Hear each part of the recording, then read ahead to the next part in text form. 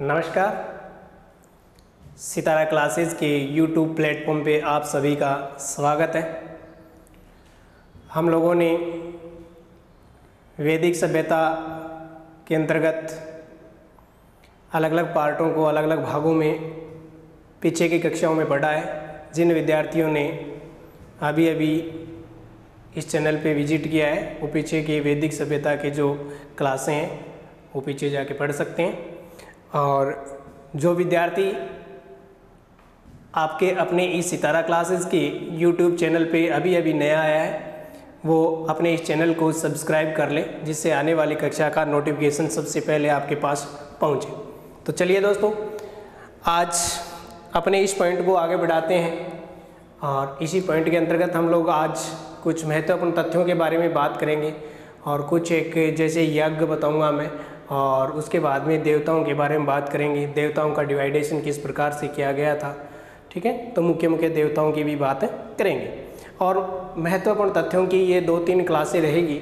इसके अंतर्गत हम लोग वो सभी तथ्यों तक पहुँचने की कोशिश करेंगे। जो तथ्य अभी तक या तो परीक्षा की दृष्टि से महत्वपूर्ण माने गए हैं या किसी परीक्षा में पूछे गए हैं, ठीक है? तो चलिए, आज का अपना पॉइंट है यज्ञ।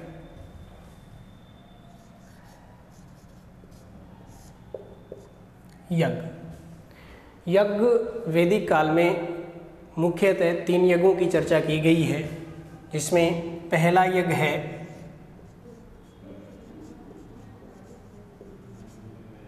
राजस्व यज्ञ। राजस्व यज्ञ है, ये राजा के राज्याभिषेक के समय किया जाता था। कब किया जाता था? राज्याभिषेक के समय किया जाता था।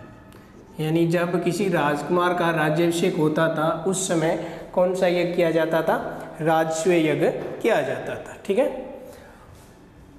राज्याभिषेक के समय। ठीक है? दूसरा है वाजपेयी यज्ञ।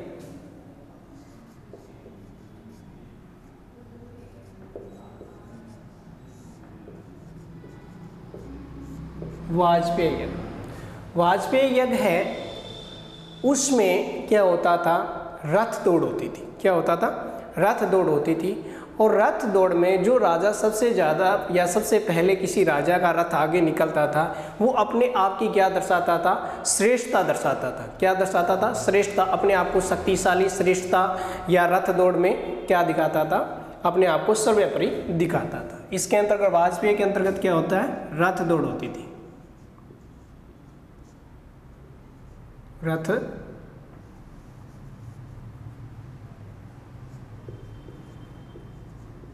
दौड़। क्या होती थी? रथ दौड़ होती थी और राजा अपने आप को क्या दर्शाता है? श्रेष्ठ दिखाता है। राजा अपने आप को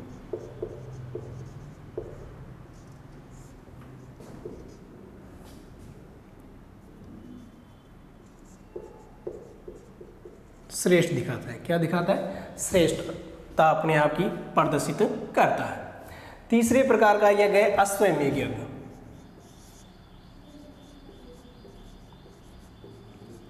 अश्वमेघ यज्ञ अश्व का अर्थ घोड़ा, ठीक है? तो इस यज्ञ के अंतर्गत क्या होता है कि घोड़े को छोड़ा जाता है। क्या छोड़ा जाता है? घोड़े को छोड़ा जाता है। जितने क्षेत्र में घोड़ा घूम के आता है, जहाँ तक घोड़े के पद चिन्ह होते हैं, वो उस क्षेत्र तक, उस क्षेत्र तक, और जिस राजा ने घोड़े को छोड़ा है, जिस राजा ने घोड़े को छोड़ा है, वो क्षेत्र उसके कब्जे में आ जाता है, ठीक है? वो क्षेत्र उसके अधीन हो जाता है। तो अश्वमेघ यज्ञ है, अश्वमेघ यज्ञ है, वो अपने आप को दिग्विजय का प्रतीक मानता है। क्या मानता है? दिग्विजय का, ठीक है? किस प्रकार का यज्ञ है राजा अपने आप को दिग्विजय दिग्विजय की नीति होती है इसमें। यानी उसका क्षेत्र है, वो पूरा का पूरा क्या माना जाता है? उस राजा के अधीन माना जाता है। अगर उस घोड़े को, यानी अश्वमेघ के अंतर्गत जिस घोड़े को पकड़ लिया जाता है, उस घोड़े को पकड़ने वाले व्यक्ति के साथ क्या किया जाता है? युद्ध किया जाता है। और अश्वमेघ के घोड़े, घोड़ा जितने क्षेत्र में घूम के आ जाता है और उसका क्षेत्र उसका माना जाता है और उस घोड़े को बाद में क्या किया जाता था? बलि दी जाती थी। क्या दी जाती थी? बलि दी जाती थी। ठीक है? तो ये तीन यज्ञ है, ये मुख्य प्रकार से और वैदिक काल में प्रमुख थे। उसके बाद में अगला पॉइंट है अपना प्रमुख देवता या ऋग्वेद कालीन प्रमुख देवता। प्रमुख देवता। हम बात करें प्रमुख देवताओं की। तो ऋग्वेद में 33 देवताओं की चर्चा की गई। या ऋग्वेद में देवताओं की संख्या कितनी बताई गई है? 33 है। ऋग्वेद में देवताओं की संख्या कितनी बताई गई है? तैंतीस बताई गई है। ठीक है? तैंतीस बताई गई है, जिनका अलग अलग स्थान भी निर्धारित किया गया है। जिनका अलग अलग स्थान भी निर्धारित किया गया है, ठीक है? उसमें हम लोग यहाँ पर मुख्य मुख्य देवताओं के बारे में बात करेंगे। जैसे प्रथम स्थान पर बात करें तो अंतरिक्ष के देवता, अंतरिक्ष के देवता, यानी ऐसे देवता जो अंतरिक्ष में निवास करते थे या ऐसे देवता जिनका वास है वो अंतरिक्ष था। जिनका वास है वो क्या था? अंतरिक्ष था। तो इसमें मुख्यतः इंद्र का नाम आता है, मृत का नाम आता है, रुद्र का नाम आता है, वायु का नाम आता है, पर्जन्य का नाम आता है, त्रिताप्य का नाम आता है, ठीक है? जैसे इंद्र। ऋग्वेद में हम लोगों ने बात की थी कि इंद्र के लिए लगभग 250 बार इंद्र शब्द का प्रयोग ऋग्वेद में किया गया है, ठीक है? इंद्र का स्थान कौन सा था? अंतरिक्ष था ध्यान रखना, क्योंकि काफ़ी बार पूछा गया है। इंद्र का स्थान है वो कहाँ पर था? अंतरिक्ष था, ठीक है? मरुत, ठीक है? उसके बाद में बात करें रुद्र, बात करें वायु हाँ वायु का स्थान भी कहाँ पर था? अंतरिक्ष में था वायु देवता है, उसका स्थान कहाँ पर था? अंतरिक्ष में था ठीक है? वायु पर्जन्य पर्जन्य और त्रिताप्य। इनका स्थान कहाँ पर निर्धारित किया गया है? ऋग्वेद वेदों के अनुसार देवताओं का इंद्र, ध्यान रखना, इंद्र, मृत, वायु, रुद्र। ये चार तो आपको याद रखनी ही रखनी इंद्र, मरुत, रुद्र और वायु। ये चारों देवताओं का मुख्य स्थान कहाँ पर निर्धारित किया गया है? अंतरिक्ष में निर्धारित किया गया दूसरे स्थान पर हम लोग बात करें तो आता है आकाश। यानी ऐसे देवता जिनका निवास स्थान आकाश में था या इन देवताओं को आकाशवासी देवता भी कहा जाता है। ये ये देवता क्या थे? आकाश में निवास करते थे। यहाँ पर मुख्य देवता है जैसे सूर्य। सूर्य का स्थान कहाँ पर है? आकाश में। कहाँ पर है? आकाश में। जैसे ध्वस ध्वस का स्थान कहाँ पर है? आकाश में। मित्र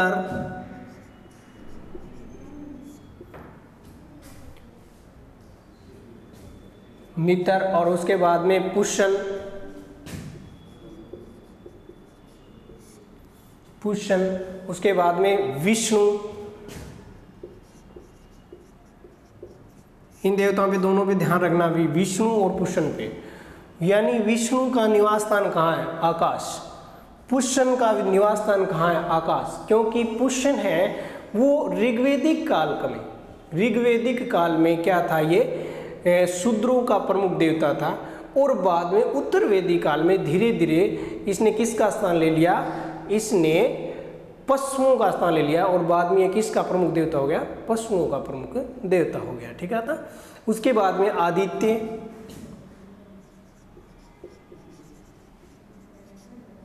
आदित्य, उसके बाद में हम बात करें सैवित्र्य।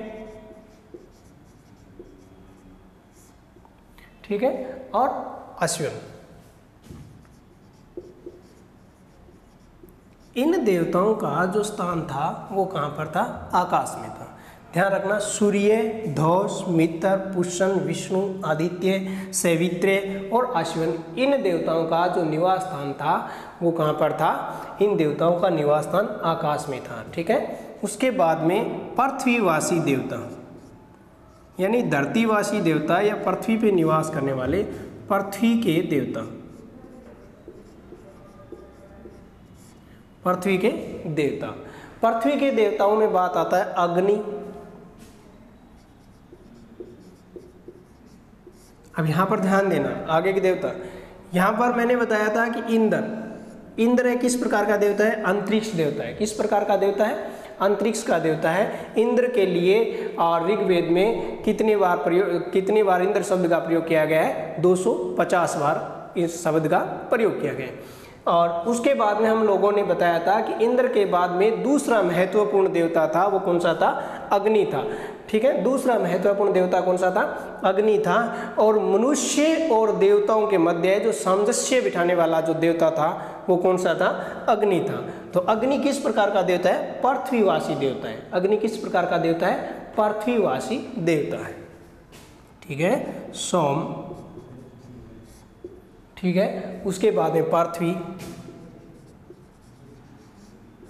और बृहस्पति। ठीक है? ये सभी के सभी देवता है, वो किस प्रकार के देवता है? पृथ्वीवासी देवता है। तो ध्यान रखना है यहाँ पर, ठीक है? उसके बाद में अगला पॉइंट है ऋण। अगला पॉइंट है ऋण। यानी एक मनुष्य के जीवन में तीन प्रकार के ऋण होते हैं। कितने प्रकार के ऋण होते हैं? तीन प्रकार के। तो ऋण कितने हैं? तीन है। कितने ऋण है? तीन ऋण है। ध्यान देना, कितने प्रकार के ऋण है? तीन ऋण है। पहला होता है देवताओं के प्रति, जिसे कहा जाता है देव ऋण। क्या कहा जाता है? देव ऋण। दूसरा होता है ऋषि ऋण, यानी ऋषियों के प्रति, ऋषि ऋण। और तीसरा होता है पितृ ऋण। पितृ ऋण। ठीक है? ऋणों में सबसे महत्वपूर्ण ऋण कौन सा होता है? पितृ ऋण होता है। और पितृ ऋण कब तक पूर्ण नहीं होता? गृहस्थ आश्रम ग्रहण करने तक पूर्ण नहीं होता। तो पितृ ऋण में कौन से आश्रम का महत्वपूर्ण योगदान होता है? गृहस्थ आश्रम में का योगदान होता है। और आश्रमों में या आश्रमों में सबसे महत्वपूर्ण यह आश्रम कौन सा माना गया है? गृहस्थ आश्रम माना गया है। क्योंकि हम लोगों ने चार आश्रमों की चर्चा की थी। तो चार आश्रमों में तीन अन्य जो आश्रम है, वो किस पर एक आश्रम पर आधारित होते हैं? गृहस्थ आश्रम पर आधारित होते हैं। ठीक है? एक बार के लिए ही देख लो। यानी यज्ञ, यज्ञों की हम लोगों ने मुख्यतः तीन यज्ञों की चर्चा की है। राजस्वीय यज्ञ राज्यभिषेक के समय किया जाता है। वाजपेयी यज्ञ में रथ दौड़ होती है और राजा अपने आप को क्या दर्शाता है? श्रेष्ठ दर्शाता है। अश्वमेघ यज्ञ है। अश्वमेघ यज्ञ के अंतर्गत दिग्विजय की नीति होती है। किस प्रकार की नीति होती है? दिग्विजय की नीति होती है और इसमें क्या किया जाता है? राजा अपने आप को दिग्विजय घोषित करने के लिए घोड़े को छोड़ा जाता है, ये अश्वमेघ यज्ञ उसके बाद में हम बात करें ऋग्वेद के देवताओं की तो ऋग्वेद में कितने देवताओं का उल्लेख मिलता है? ऋग्वेद में तैंतीस देवताओं का उल्लेख मिलता है।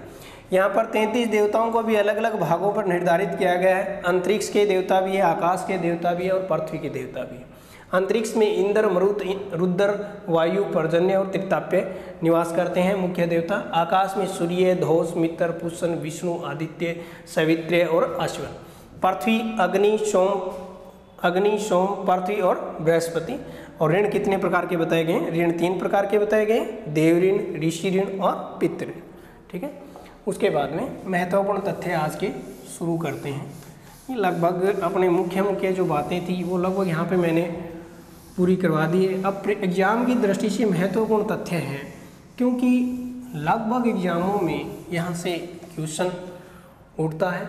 तो हम लोग बात करते हैं वैदिक काल में की जो प्रणाली थी, वो किस प्रकार की प्रणाली थी? तो रेज वैदिक काल की जो शासन प्रणाली थी, वो राजतंत्रात्मक थी। किस प्रकार की थी? राजतंत्रात्मक। ठीक है? वैदिक काल की जो शासन प्रणाली थी, वो किस प्रकार की थी? राजतंत्रात्मक प्रणाली थी, ठीक है? उसके बाद में वैदिक काल में तीन समितियों का उल्लेख मिलता है, ठीक है? तीन समितियों का उल्लेख मिलता है तो समझने की कोशिश करना, वो समितियाँ कौन कौन सी थी?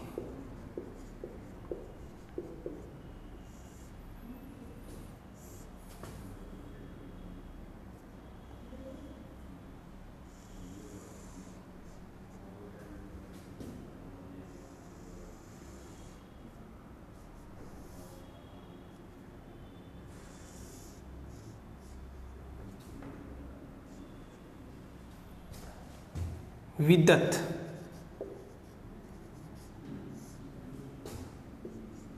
सभा। और समिति। विदत, सभा और समिति। विदत, ध्यान देना, यहाँ तीनों में दे दें कि सबसे प्राचीन समिति कौन सी है? तो यहाँ पर सबसे प्राचीन समिति थी वो किस प्रकार की थी? विदत थी।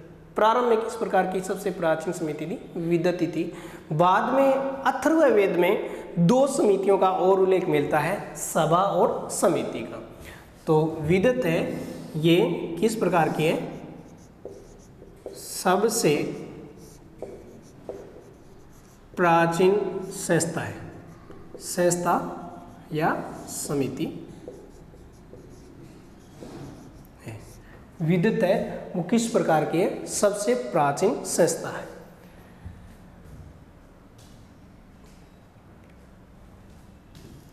ठीक है? विदित है, वो सबसे प्राचीन समिति या संस्था है, ठीक है? उसके बाद में बात करें हम लोग सभा की, ठीक है? सभा है, वो श्रेष्ठ और संभ्रांत लोगों की संस्था थी। सभा है, वो श्रेष्ठ व संभ्रांत।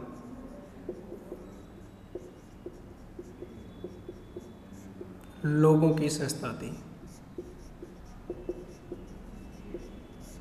ठीक है? सभा श्रेष्ठ और संभ्रांत लोगों की संस्था थी।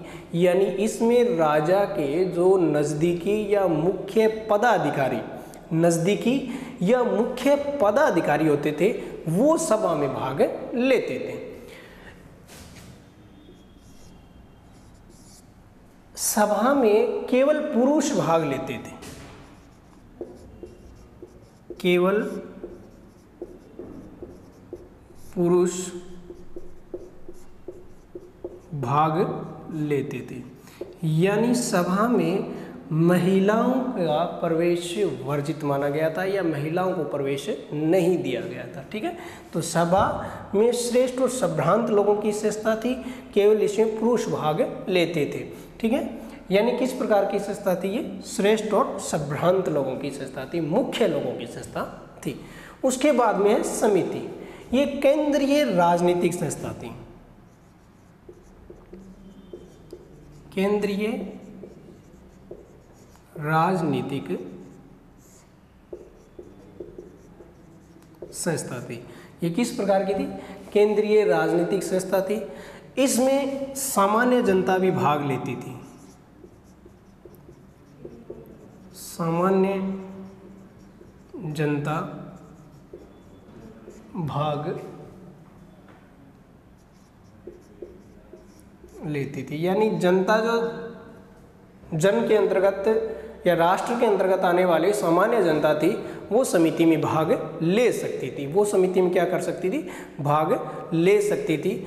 और ये, यानी समिति है, वो सामान्य जनता का क्या करती थी? प्रतिनिधित्व करती थी, ठीक है? महिला और पुरुष दोनों भाग लेते थे इसमें। महिला व पुरुष।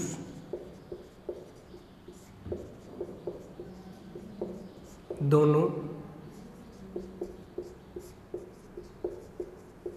भाग लेते थे। यानी इसमें क्या है? महिला और पुरुष। इसमें तो केवल पुरुष, सभा में केवल पुरुष भाग लेते थे। केवल केवल केवल पुरुष ही भाग लेते थे, जबकि समिति में महिला और पुरुष दोनों भाग लेते थे। समिति में महिला और पुरुष दोनों भाग लेते थे। और समिति है, वो राजा के चुनाव में भी क्या करती थी? सहयोग करती थी। ये अपना वर्चस्व दिखाती थी तो राजा को चुनने में भी सहयोग करती थी। राजा को चुनने में भी समिति के सदस्यों का क्या रहता था? सहयोग रहता था, ठीक है? राजा को चुनने में भी समिति के लोगों का क्या रहता था? सहयोग रहता था। उसके बाद में इसके एक अध्यक्ष या समिति के अध्यक्ष को क्या कहा जाता था? ईशान कहा जाता था। क्या कहा जाता था? अध्यक्ष को क्या कहा जाता था? समिति के अध्यक्ष की बात कर रहा हूँ मैं यहाँ पे। समिति का जो अध्यक्ष होता था, वो ईशान कहलाता था। क्या कहलाता था? ईशान कहलाता था। ठीक है? क्या कहलाता था? ईशान कहलाता था। तो ध्यान, यहाँ से थोड़ा सा ध्यान रखना कि यहाँ से काफ़ी बार क्वेश्चन आए हैं। विदत। विदत है वो वैदिक काल की सबसे प्राचीन संस्था थी। विदत है, वो वैदिक काल की सबसे प्राचीन संस्था थी। सभा श्रेष्ठ व संभ्रांत लोगों की संस्था थी। यानी इसमें राजा के प्रमुख पदाधिकारी भाग ले सकते थे, राजा के नज़दीकी लोग भाग लेते थे। यानी जहाँ जिनको अनुमति प्राप्त थी, वो लोग ही यहाँ पे भाग ले पाते थे। इसमें, यानी सभा में केवल पुरुष भाग लेते थे। समिति, केंद्रीय राजनीतिक संस्था थी। ये केंद्रीय राजनीति, यानी एक बड़ी संस्था थी केंद्र के आधार पर, सामान्य जनता इसमें क्या कर सकती थी? भाग ले सकती थी। ठीक है? महिला व पुरुष दोनों भाग लेते थे। राजा के चुनने, राजा के चुनाव में राजा को चुनने में ये संस्था क्या करती थी? सहयोग करती थी। और समिति का अध्यक्ष क्या होता था? समिति का इस, यानी सभा सॉरी समिति का जो अध्यक्ष होता था, उसको क्या कहा जाता था? ईशान कहा जाता था। क्या कहा जाता था? ईशान कहा जाता था। अब ध्यान देना।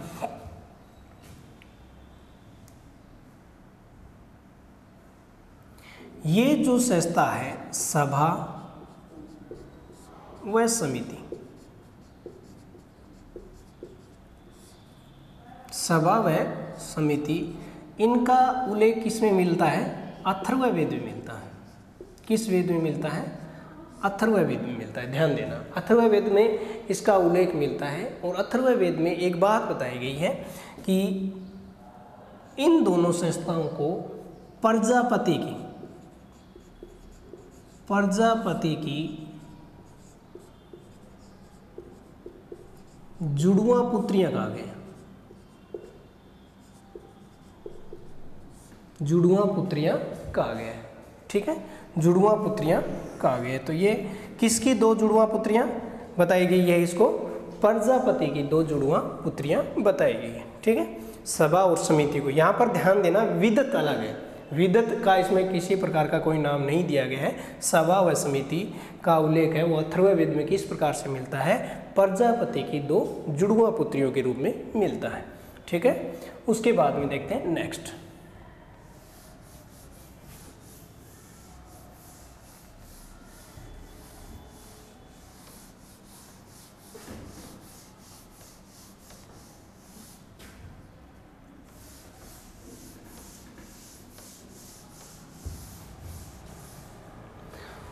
उसके बाद में है, देखो, हम लोगों ने पीछे के पॉइंट में महाभारत भी पढ़ा था।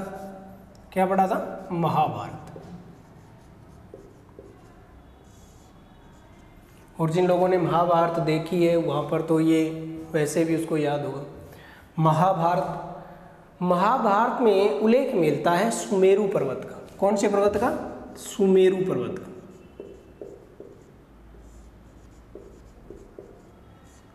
महाभारत में कौन से पर्वत का उल्लेख मिलता है? सुमेरु पर्वत का उल्लेख मिलता है। और इस पर्वत पर छः माह का दिन और छः माह की रात बताई गई है। यानी छः माह का दिन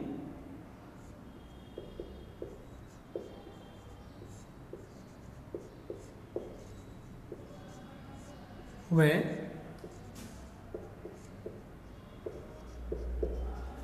छः माह की रात। तो ऐसा है, कभी क्वेश्चन ऐसा पूछा जा सकता है कि किस पर्वत पर या महाभारत के अनुसार किस पर्वत पर छः माह का दिन व छः माह की रात होती है? तो सुमेरु पर्वत पर छः माह का दिन और छः माह की रात होती है, ठीक है? उसके बाद में एक ईरानी ग्रंथ है। ईरानी ग्रंथ है जैन अवेस्ता।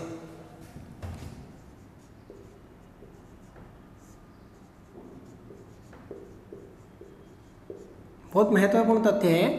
याद रखने एग्ज़ाम की दृष्टि से काफ़ी महत्वपूर्ण रहते हैं। तो ये चीज़ें मैं आपको करवा रहा हूँ। तो जैन अवेस्ता जैन अवेस्ता ग्रंथ ये कहता है कि आर्य लोग थे, यानी जैन अवेस्ता कहाँ का ग्रंथ है? ईरान का ग्रंथ है। कहाँ का ग्रंथ है? ईरान का ग्रंथ है, जिसमें ऋग्वेद से संबंधित या हम कहें ऋग्वेद में जिस प्रकार की सुक्ति है। ऋग्वेद में जिस प्रकार की सुक्ति है, वैसे ही सुक्तियाँ किसमें मिलती है? जैन अवस्था में मिलती है। इसी कारण ऋग्वेद का समकालीन ग्रंथ भी कहा जाता है इसको। इसको क्या कहा जाता है? ऋग्वेद का समकालीन ग्रंथ भी कहा जाता है। और जैन अवस्था है, वो ये बात कहता है कि आर्य है। आर्य है, वो कहाँ के रहने वाले थे? तो जैन अवस्था के अनुसार आर्य बैक्टीरिया के निवासी थे। कहाँ के निवासी थे? बैक्टीरिया, ठीक है? बैक्टीरिया के निवासी थे। बैक्टीरिया, ठीक है, बैक्टीरिया के निवासी थे। ध्यान देना, ईरानी ग्रंथ जैन अवस्था के अनुसार आर्य लोग बैक्टीरिया के निवासी थे, ठीक है? और इस ग्रंथ की तुलना या हम कहें तादातम्य किस ग्रंथ से किया जाता है, किस भारत के प्राचीन ग्रंथ से किया जाता है या किस भारत के प्राचीन वेद से किया जाता है तो ऋग्वेद से किया जाता है।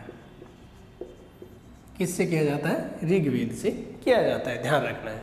ठीक है? उसके बाद में श्राद्ध प्रथा अगला है श्राद्ध प्रथा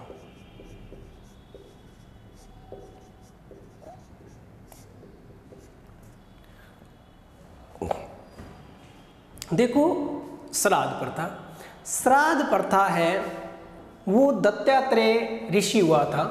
कौन हुआ था? दत्तात्रेय। दत्तात्रेय। दत्तात्रेय ऋषि हुआ था और इन दत्तात्रेय जी का एक पुत्र था, जिसका नाम था, दत्तात्रेय जी का पुत्र था, जिसका नाम था निमी। क्या नाम था? निमी। निमी ने श्राद्ध प्रथा शुरू की थी। ठीक है? क्या किया था? श्राद्ध प्रथा, यानी मरने के बाद में और जो बाद में कौओं वगैरह को जो भोजन करवाया जाता है। ठीक है? तो वो श्राद्ध प्रथा है, वो किसने शुरू की थी? वो की थी दत्तात्रेय जी का पुत्र था। किस, कौन था? निमी था। और निमी ने क्या किया था? श्राद्ध प्रथा शुरू की थी। ठीक है? उसके बाद में कुछ एक शब्द आते हैं, जैसे हम लोग ब्रह्मवृत पढ़ते हैं या आर्यावृत पढ़ते हैं या मध्य देश पढ़ते हैं, ये कौन सा क्षेत्र था? ये कौन सा क्षेत्र था? तो बात करते हैं ब्रह्मवृत या ब्रह्मावृत या आर्यावत। आर्यावत। तो ये ब्रह्मवृत या आर्यावर्त सीधा साधा है कि जिस क्षेत्र में आर्य लोग आके बसे थे, उसी को आर्यावृत कहा गया था। क्या कहा गया था? आर्यावृत कहा गया था। तो ब्रह्मवृत या आर्यावृत या ब्रह्मावृत ये क्षेत्र था सरस्वती और दृष्टवती नदियों के मध्य का भाग। कौन सी दो नदियों के? सरस्वती व दृष्टवती के मध्य का जो भाग था, वो क्या कहलाता था? वैदिक काल में आर्यावर्त या ब्रह्मवृत कहलाता था। उसके बाद में है मध्य देश। मध्य देश सरस्वती और गंगा। सरस्वती व गंगा के मध्य आता था। मध्य देश सरस्वती और गंगा नदी के मध्य का जो भाग था वो क्या कहलाता था? मध्य देश कहलाता था। सरस्वती व गंगा के मध्य।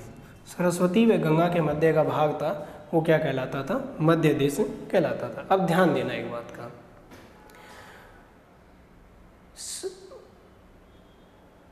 आर्य लोग आर्य लोग सबसे पहले सिंधु नदी के किनारे आके बसे थे, ठीक है? आर्य लोग सबसे पहले सिंधु नदी के किनारे आके बसे थे और फिर वो धीरे धीरे बढ़ते गए, आगे बढ़ते गए और आगे बढ़ने के बाद इनकी एक पवित्र नदी हुई जो सरस्वती थी। कौन सी नदी थी? सरस्वती नदी थी और सरस्वती नदी के किनारे हम लोग अपने प्राचीन वेद ऋग्वेद की रचना मानते हैं। ठीक है?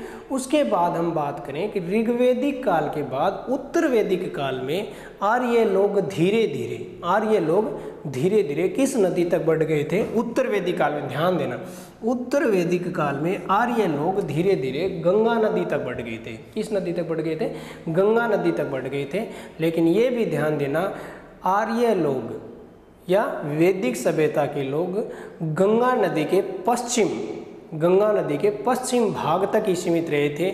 न कि उन लोगों ने गंगा नदी को क्रॉस किया था। ठीक है? न कि उन लोगों ने गंगा नदी को क्रॉस किया था। यानी वो लोग पूर्वी भाग में नहीं गए थे। तो इसलिए आर्य लोग हैं, वो गंगा नदी उत्तर वैदिक काल में कहाँ तक पहुँच गए थे? गंगा नदी के पश्चिम भाग तक। गंगा नदी के पश्चिम भाग तक। ठीक है? उसके बाद में आगे देखते हैं।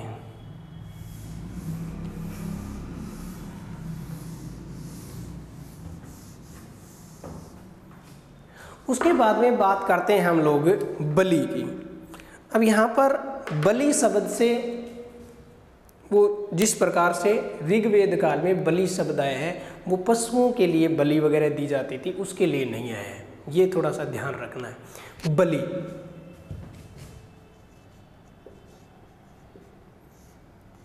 ऋग्वेद में बलि है, वो कर को कहा जाता था। किसको कहा जाता था? कर को कहा जाता था। ये ध्यान रखना। ऋग्वेद में बलि क्या है? ऋग्वेद में बलि क्या है भाई ऋग्वेद में बलि कर है। क्या है? कर है। ठीक है? ऋग्वेद में बलि क्या था? कर था। ठीक है? ऋग्वेद में बलि क्या था? कर था। और वैदिक काल में कर है। वो नगद पैसे के रूप में नहीं लिया जाता था, किसके रूप में लिया जाता था? अन्न के रूप में लिया जाता था। यानी कर है, अन्न के रूप में लिया जाता था। अन्न के रूप में लिया जाता था। ठीक है, किसके रूप में लिया जाता था? अन्न के रूप में लिया जाता था तो ये भी थोड़ा सा ध्यान रखना। अब वैदिक काल में जो व्यक्ति जनता से कर इकट्ठा करता था, वैदिक काल में जो व्यक्ति जनता से कर इकट्ठा करता था या संग्रह करता था, या अपनी भाषा में बात करें तो एक जगह इकट्ठा कर या भेड़ो करता हूँ ठीक है? तो उस व्यक्ति को क्या कहा जाता था? बलिहार्थ कहा जाता था। क्या कहा जाता था? बलिहार्थ कहा जाता था। बलिहर्थ क्या कहा जाता था? कर का संग्रह करने वाला या जनता से कर को इकट्ठा करने वाला? कर का संग्रह करने वाला या जनता से कर को इकट्ठा करने वाला? क्या कहलाता था? अब ध्यान देना, बलि क्या है विवेदिक काल में? बलि एक कर है। ऋग्वेदिक काल में बलि है, कर है। कर किसके रूप में लिया जाता था? अन्न के रूप में लिया जाता था। कर इकट्ठा करने वाला व्यक्ति क्या कहलाता था? बलिहार्थ कहलाता था, बलिहर्ता कहलाता था। ठीक है? उसके बाद में बात करें सिद्ध श्रिद्ध व्रात व्रात, सिद्ध, व्रात व गण। गण। अब गण शब्द आगे मौर्य काल में भी पढ़ेंगे हम लोग, और महाजन पद पद काल में भी गण शब्द आएगा। लेकिन यहाँ पर गण सर्द व्रात और गण। ये ऋग्वेद काल में सेना की इकाइयों के नाम थे। क्या थे? सेना की ऋग्वेद काल में सेना की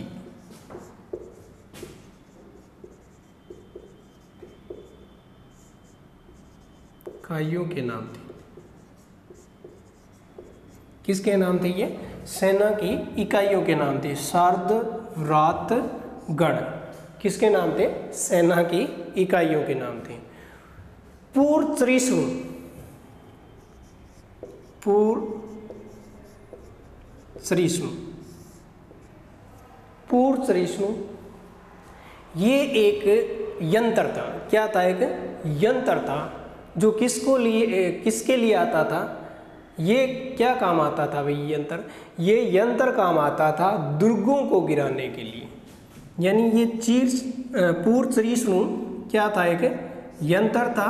किसके काम आता था? दुर्गों को। गिराने के काम आता था, गिराने के काम आता था। दुर्गों को गिराने के काम आता था। अब यहाँ पर ध्यान देना कि किस देवता को दुर्गों को गिराने वाला देवता कहा गया है? तो किसको कहा गया है? इंद्र को कहा गया है। किसको कहा गया है? इंद्र को कहा गया है। ठीक है? उसके बाद में कुछ एक शब्द हैं जो हम लोग नेक्स्ट कक्षा में भी पढ़ेंगे। यहाँ भी हम लोग कुछ शब्दों की व्याख्या करेंगे। जैसे पुरोहित।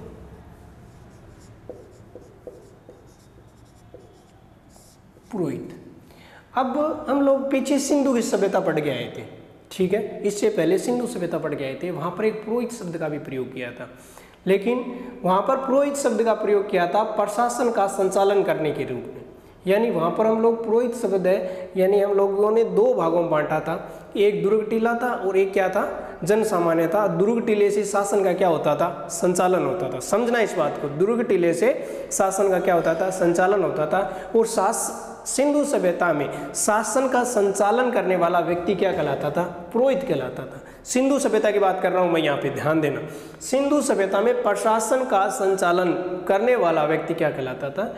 पुरोहित कहलाता था। जबकि जबकि वैदिक सभ्यता में पुरोहित क्या होता था? मंत्री होता था। क्या होता था? मंत्री होता था और प्रशासन का संचालन वैदिक सभ्यता में कौन करता था? राजा करता था। कौन करता था? राजा करता था। ठीक है? उसके बाद में सेनानी सेनानी सेनापति को कहा जाता था। सेनापति। सेनानी कौन होता था? सेनापति। सुत सुत सुत ध्यान देना सुत वैदिक सभ्यता में सुत सुत का अर्थ वैसे तो हम लोग यहाँ पर लेते हैं, बेटे के रूप में लेते हैं, लेकिन यहाँ विश्वास हमेशा बेटे पे किया जाता है, विश्वास हमेशा किस पे किया जाता है? बेटे पे किया जाता है, इसी कारण यहाँ सुत सुत का अर्थ क्या है? सारथी। सुत किसको कहा जाता था? सारथी। सारथी कौन होता है? सारथी होता है रथ को हाँकने वाला। सारथी कौन होता है? रथ को हाँकने वाला। एक राजा का रथ हाँक रहा है एक राधा, राजा के रथ को चला रहा है तो इसका मतलब उस पर क्या होना चाहिए? विश्वास होना चाहिए। विश्वास होना चाहिए। विश्वास किस पे किया जाता है? पुत्र पे किया जाता है। तो सुत का अर्थ हम लोग संस्कृत में पुत्र के रूप में पढ़ते हैं। तो यहाँ सुत का अर्थ वैदिक सभ्यता में किसका है? सारथी के रूप में। सारथी कौन होता है? रथ को हाँकने वाला। ग्रामीण। ग्रामीणी। यानी ग्राम का प्रमुख। ग्राम का प्रमुख। भागदूत। भागदूत। भागमिश। आगे के शब्दों में भी पढ़ेंगे, भाग एक अर्थ, ठीक है? आगे भी पढ़ेंगे तो ये क्या है? कर संग्राहक। कर संग्राहक। और बलिहर्त भी क्या था? कर का संग्रहण करने वाला। ठीक है? उसके बाद में संग्रहिता।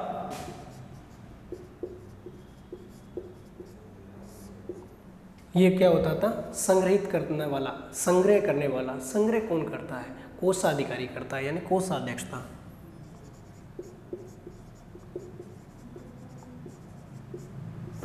कौन था? कोषाध्यक्ष। कुछ एक ऐसे शब्द है तो इसमें आपको ध्यान रखना है। उसके बाद में एक बार के लिए इसको देख लो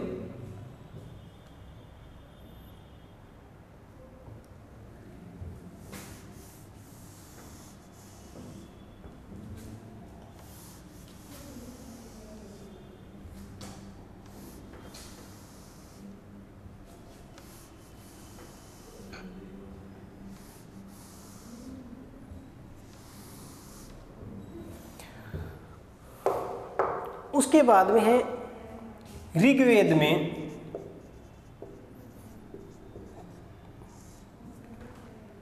वरुण सूक्त मिलता है। कौन सा सूक्त है?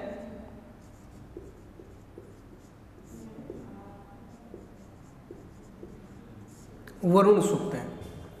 और वरुण सुक्त में सुन से व्याख्यान मिलता है। ध्यान देना। सुन शेफ व्याख्यान मिलता है। उस सुन से व्याख्यान में ऐसा माना जाता है कि पिता अपनी संतान को बेच सकता है। ध्यान देना, पिता अपनी संतान को बेच सकता है। क्वेश्चन ऐसा बन सकता है, किस व्याख्यान के अनुसार पिता अपनी संतान को बेच सकता है? तो किस व्याख्यान के अनुसार? सुन शैव व्याख्यान के अनुसार। किसके अनुसार? सुन शैव ये चीज़ किसमें मिलती है? ये चीज़ मिलती है, ऋग्वेद में मिलती है। यानी ऋग्वेद में वरुण सुक्त है। कौन सा सुक्त है? वरुण सुक्त है। और वरुण सुक्त ये बात कहता है, वरुण सुक्त में एक सुन से व्याख्यान है। और उस व्याख्यान में एक बात लिखी गई है कि पिता अपनी संतान को बेच सकता है। पिता अपनी संतान को बेच सकता है, ठीक है? अगली बात है, ऋग्वेद की नेक्स्ट बात है। ऋग्वेद में ऋग्वेद में मैं कारू हूँ, मैं कारू हूँ, मेरे पिता भिषक हैं, मेरे पिता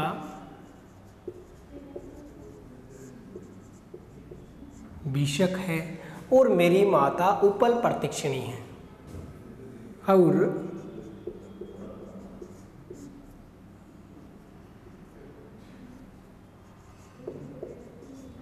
मेरी माता उपल प्रतीक्षिणी है।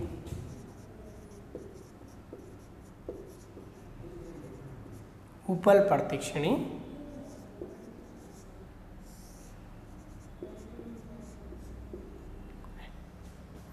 अब यहाँ पर इस प्रकार से ये लाइन समझ में नहीं आ रही है तो यहाँ शब्द सुनना कारू कारू का अर्थ होता है मंत्र। भीषक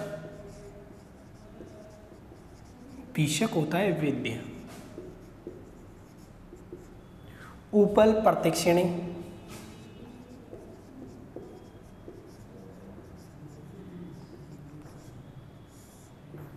होता है पत्थर की चक्की से अनाज पीसने वाली।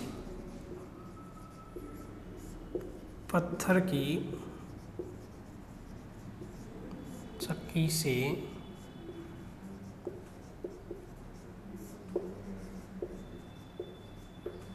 अनाज पीसने वाली। ठीक है? तो देखो ऋग्वेद में ऐसा क्वेश्चन इस प्रकार का आएगा कि मेरी, मैं कारू हूँ, मेरी पिता, मेरे पिता विषक है और मेरी माता उपल प्रतीक्षिणी है। ऐसा कौन से वेद में वर्णित मिलता है? तो यहाँ पर ध्यान देना, मैं मंत्रों का निर्माण करता हूँ, ठीक है? या मैं मंत्रों का क्या करता हूँ? निर्माण करता हूँ। मेरे पिता वेद्य हैं और मेरी माता पत्थर की चक्की से अनाज बीसने वाली है। मेरी माता क्या है? पत्थर की चक्की से अनाज बीसने वाली है। तो ये सभी के सभी क्या कर रहे हैं? कार्य कर रहे हैं किसके लिए? आमदनी के लिए, पैसा कमाने के लिए। क्या करें अलग अलग व्यक्ति हैं। मैं हूँ, मेरे पिता है, मेरी माता है। तीनों अलग अलग व्यक्ति हैं, लेकिन आमदनी के लिए क्या कर रहे हैं? कार्य कर रहे हैं, ठीक है? तो ये किस वेद में उल्लेख मिलता है? ऋग्वेद में उल्लेख मिलता है, ठीक है? किसके लिए वेद में मिलता है? ऋग्वेद में इसका उल्लेख मिलता है। किस वेद में मिलता है? ऋग्वेद उसके बाद में नेक्स्ट है, देवापी और शांतनु। देवापी व शांतनु। शांतनु या शांतुन, ये दो भाई थे। क्या थे ये? दो भाई थे और इन दोनों भाइयों का उल्लेख मिलता है ऋग्वेद में। इन दोनों भाइयों का उल्लेख कहाँ मिलता है? ऋग्वेद में मिलता है। देवापी पुरोहित था पुरोहित पुरोहित का अर्थ हम लोगों ने क्या लिखा था? मंत्री। दिवापी क्या था? पुरोहित था, जबकि सांतुन क्या था? राजा था। क्या था? राजा था। और इनका जो पंडित जी था, ठीक है, या हम बात करें तो वो कौन था? वशिष्ठ था। कौन था? विशिष्ट था। तो देवापी व शांतनु या शांतनु दोनों भाइयों की कथा किस वेद में वर्णित मिलती है? तो ऋग्वेद में इसका वर्णन मिलता है। ठीक है? तो एक बार के लिए दोबारा देख लो। सुनसेप किसमें मिलता है? सुनसे व्याख्यान। सुनसे व्याख्यान ऋग्वेद में मिलता है। ऋग्वेद के कौन से सूक्त में मिलता है? वर्ण सूक्त में मिलता है। मैं कारू हूँ, मेरे पिता अभिषेक है, मेरी माता उपल प्रतीक्षणी यानी मैं मंत्र का निर्माण करता हूँ या मैं मंत्र पढ़ता हूँ और मेरे पिता है, वो एक वेद्य का काम करते हैं और मेरी माता है, वो पत्थर की चक्की चक्की से क्या करती है? आटा पीसती है। इसका वर्णन किसमें मिलता है? ऋग्वेद में मिलता है। और देवापी और शांतनु दोनों भाइयों की जो कथा है, वो किसमें मिलती है? ऋग्वेद में मिलती है। देवापी एक पुरोहित था, एक मंत्री था और शांतनु क्या था? एक राजा था।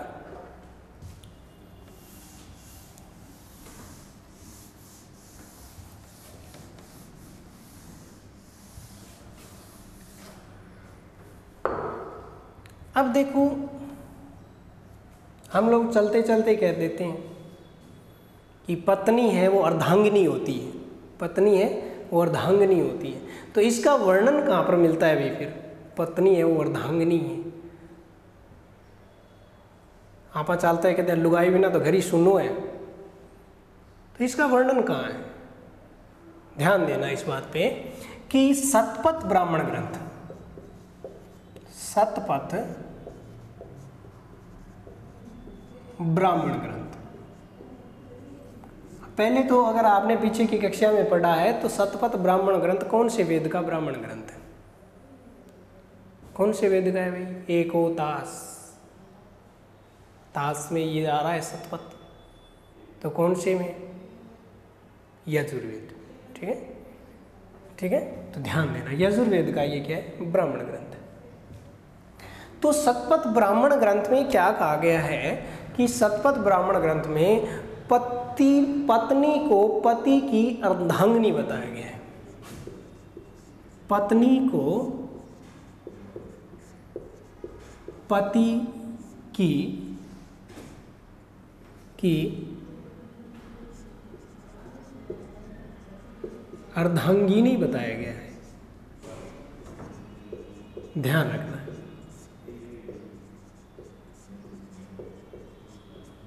किस ब्राह्मण ग्रंथ के अनुसार, किस ब्राह्मण ग्रंथ के अनुसार पत्नी है, वो पति की अर्धांगिनी होती है।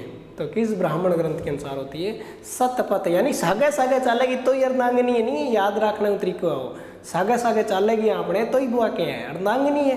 तो सतपथ सतपथ, यानी साथ में चलने वाली अर्धांगिनी, पति की अर्धांगिनी होगी। तो वो क्या है? सतपथ ब्राह्मण ग्रंथ है। ठीक है? उसके बाद में ऋग्वेद में जाय दस्तम एक शब्द मिलता है। कौन से वेद में? ऋग्वेद में। कौन सा शब्द मिलता है? जाय दस्तम जाय दस्तम ठीक है? जाय दस्तम एक शब्द मिलता है। कौन से वेद में? ऋग्वेद में। तो जाय दस्तम शब्द का अर्थ होता है, पत्नी ही ग्रह है, यानी पत्नी ही घर है, यानी जिनके घर में पत्नियाँ नहीं होती, वो धीरे धीरे घर है, वो जिस कंडीशन खराब ही हो जाती है। तो जायदस्तम शब्द का अर्थ है, पत्नी ही ग्रह, यानी घर है।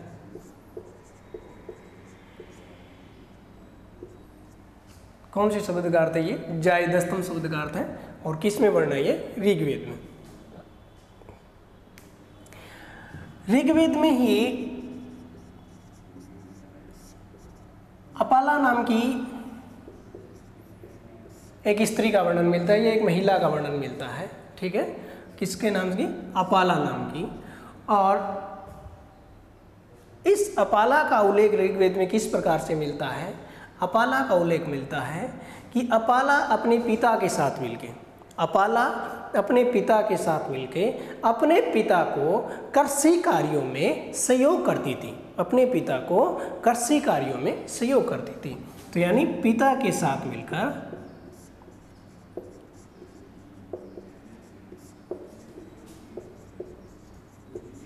पिता के साथ मिलकर अपाला कृषि कार्यों में, कृषि कार्यों में पिता का हाथ बंटाती थी। ठीक है? ये किस वेद में मिलता है? ऋग्वेद में इसका वर्णन मिलता है। ठीक है? तो ज़्यादा से ज़्यादा शेयर और लाइक किया करो और आगे क्लास को बढ़ाया करो। और नेक्स्ट कक्षा में फिर अपन लोग मिलेंगे। इसी के साथ ऑल द बेस्ट और इसी ऋग्वेद सभ्यता के मुख्य महत्वपूर्ण तथ्यों के साथ मिलेंगे। ठीक है?